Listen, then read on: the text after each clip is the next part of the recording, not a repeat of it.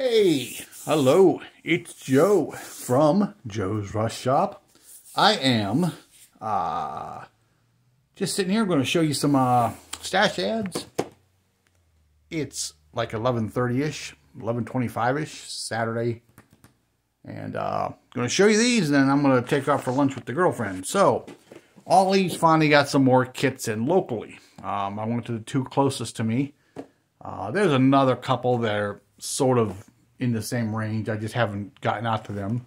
But I think I spent enough for right now. Uh, so anyhow, I went to the one, uh, I think this was in Hermitage, and I got the Milk Trike. Uh, I used to have this whole series years ago, the original ones.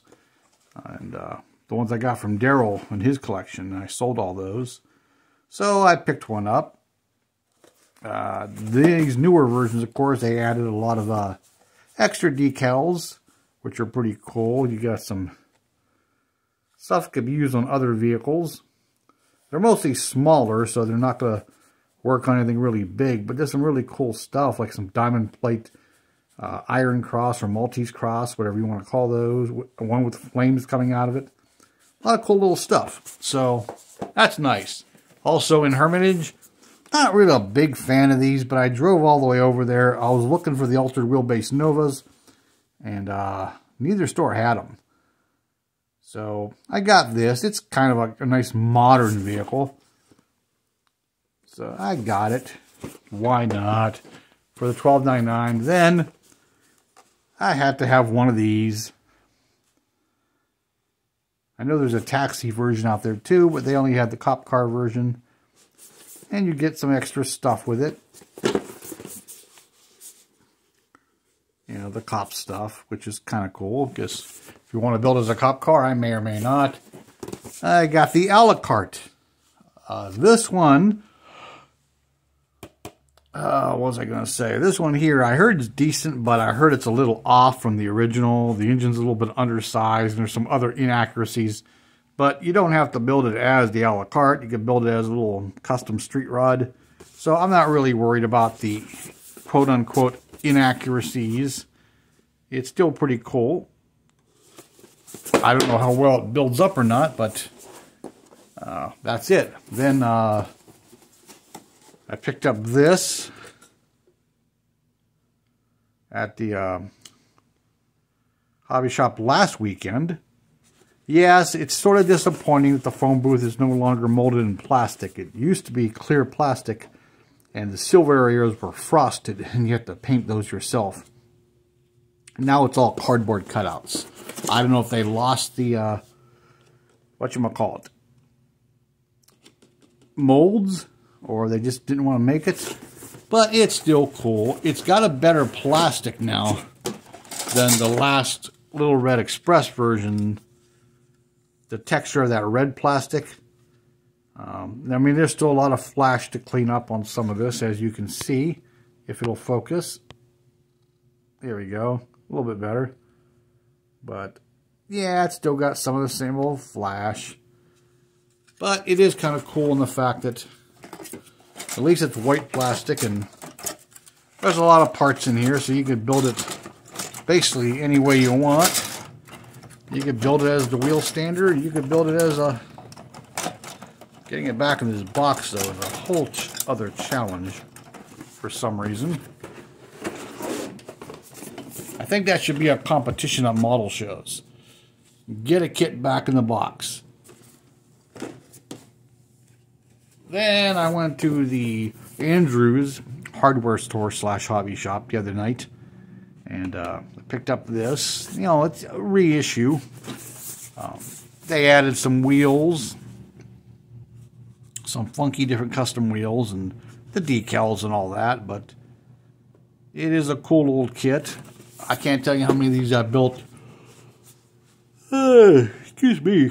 In my youth, I built a lot of these that were the uh, countdown series. You know, the ones that said 61, 2, 3, 4, 5, 6, you know, all that. I probably built four or five of them back in my day. I did one actually. I actually did one with the custom front end. So I may actually do that again. Then today, uh, I did a little trading too. I traded some kits, so I didn't spend as much money as I should have or could have or shouldn't have, however you want to look at it. Oh yes, this is reissued. I built this back when I was 14 or 15 when it was new, along with the Little Red Express, because they were both on the shelves at the same time. And uh, yeah, I built them both out of the box. I mean, I painted the interiors and the chassis on the Little Red Express because this was molded in black back in the day. And I painted the wood grain things. The wheels, I can't remember if they came gold back then or not. Uh, excuse me again. Had a late night. Got a call from my boss last night about 9 o'clock that he's in the emergency room and they're holding him until they can examine him further. Well, however, he left his dogs at the shop and his he didn't want his wife driving in the snow, so I drove out to the shop. It took me longer than normal because it was slick.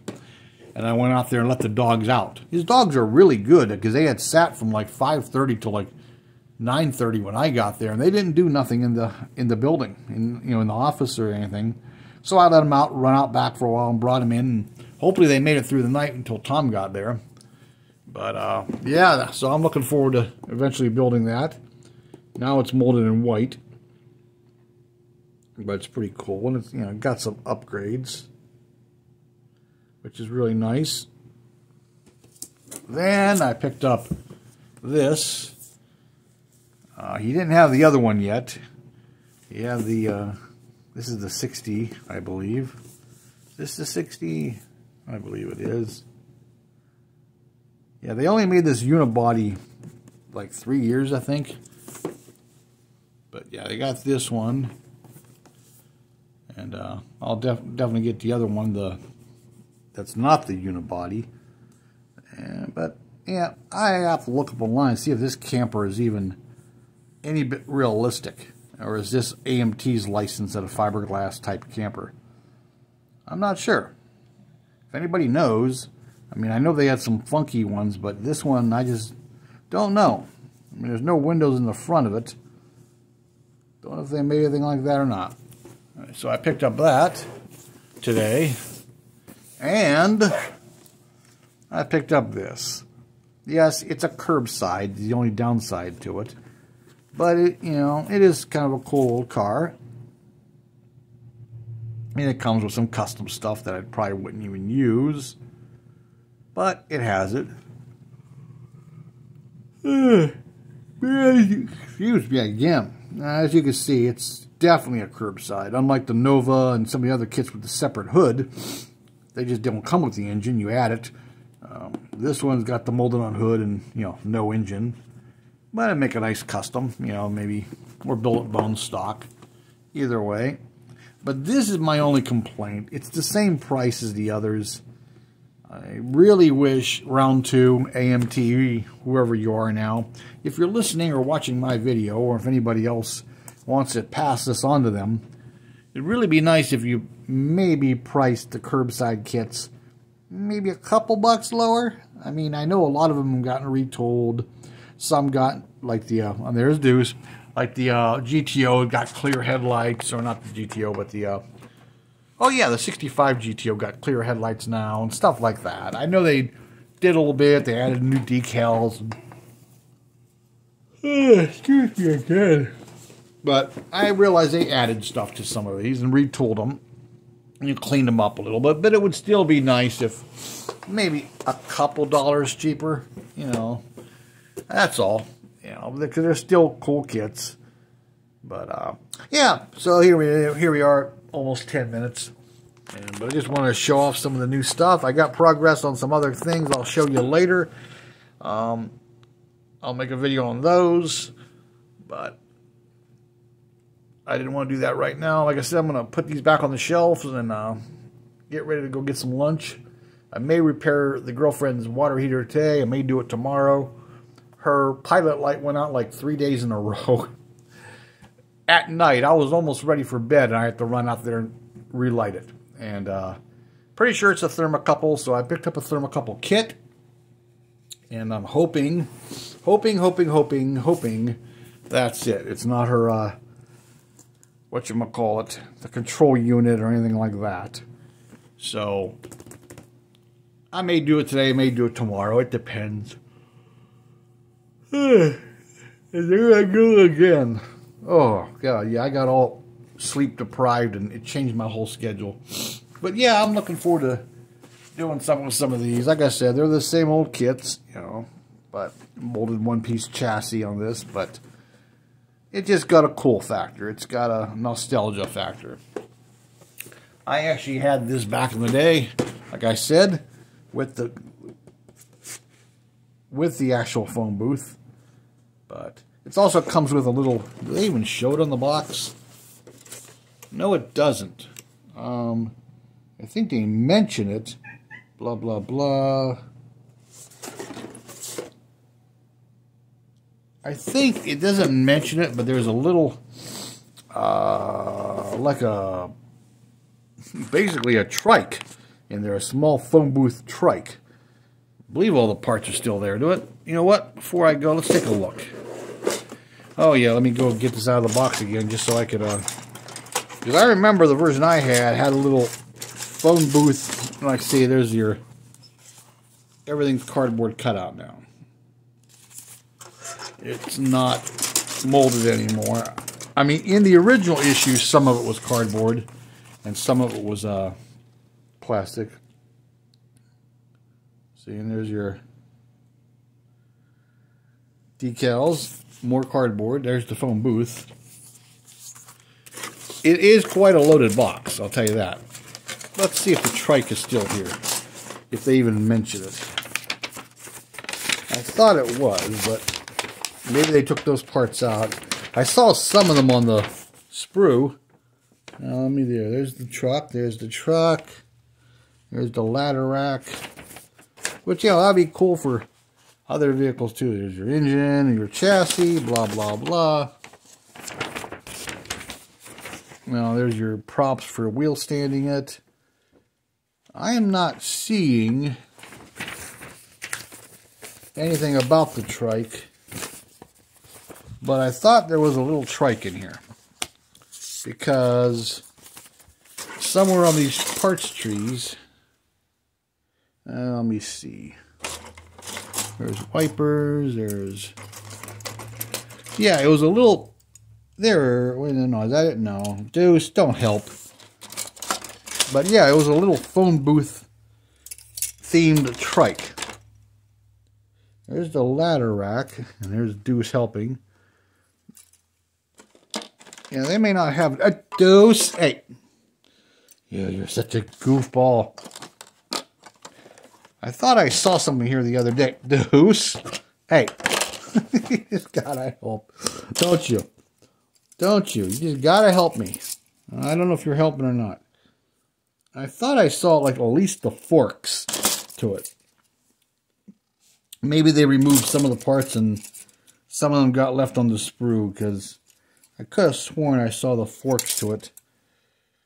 Or some of the parts. Oh, there it is. Some of it. There's the little banana seat.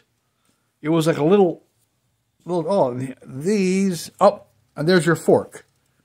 See, there's your fork. I don't know if the rest of it's here or not, like the handlebars. But yeah, it used to have a little tiny trike and I don't know, it doesn't look like it's in there anymore because the instructions aren't mentioning it. So I'm going to ha hazard a guess as it's been removed. They just happen to have those parts on the sprue and they just stayed. So, if anybody has the original one or original instructions, look it up and let us know. But I'm pretty sure it did. Deuce, you have to be on camera. Oh, getting this back in here is such a challenge. There we go. Just, and Deuce is in the way. He's everybody's buddy. See, when he's not on this thing, though, everybody asks, where's Deuce? So, there he is, and he's leaving. I think he knows I'm finishing up, and he's like, well, I don't need to be on camera anymore. Okay, well, now we're 14 minutes in, and uh, it's time to go. So, hey, thanks for watching. Like, comment, subscribe, share. Uh, I'll be doing something else a little bit later tomorrow, I hope. So until then, talk to you later and have a good Saturday. Bye bye.